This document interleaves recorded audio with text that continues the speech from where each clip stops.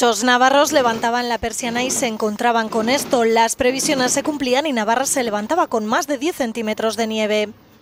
El caos de muchos ha dado paso al ingenio de otros. Varias calles del centro de Pamplona se han transformado en improvisadas pistas de esquí.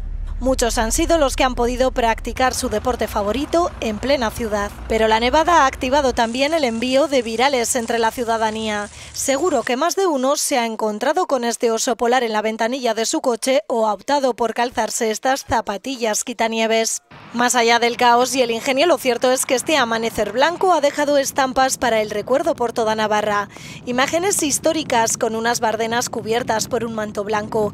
El desierto bardenero no veía la nieve desde hace ocho años. Imagen que se repetía desde la ribera hasta la zona media, Tierra Estella o el norte. En el centro de Pamplona, imágenes bucólicas también con una plaza del castillo completamente cubierta por la nieve. Hoy hasta San Fermín se ha quedado congelado en su hornacina.